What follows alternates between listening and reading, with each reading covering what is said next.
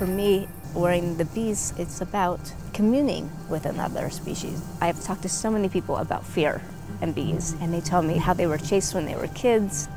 Because they see me wearing the bees, I think that they realize that you can be not afraid of nature. This is the fourth bee dance um, I've done. It's me and 12,000 insects. It's sensual. At the same time, you know that there's this fierceness. We spend a lot of time getting prepared. Today, we're looking for the queen. You have to look really keenly to make sure that you're not missing her, because then you have to start all over.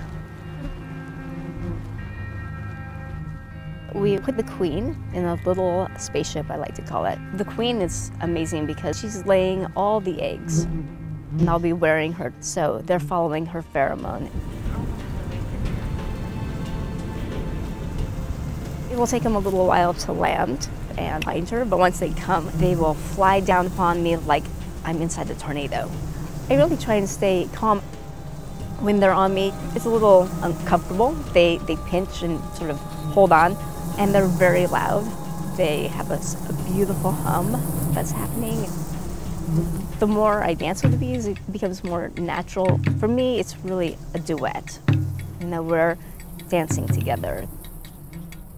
And this time I'm going to integrate the work that I do helping people heal based on helping people break an emotional or a physical pattern. Lots of people are interested in just connecting to nature, so that's one of their focuses. I really want people to have a little transcendence. I had no idea what to expect. The power of the bees, along with the serenity, was an incredible mix. I was concerned about everybody because there were so many bees in the air because of the winds. They kept getting sort of uplifted, and normally they're more collected on the body.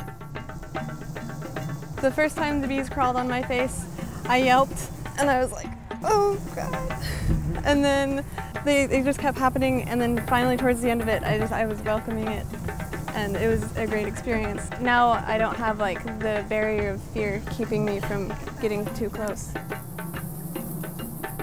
where we are in the world, we're not really being good to most things in nature. So how do we educate people or how do we change the minds of people and how do we give them new experience? And I think it's just taking notice. And once you take notice, then you start maybe changing the way that your actions are.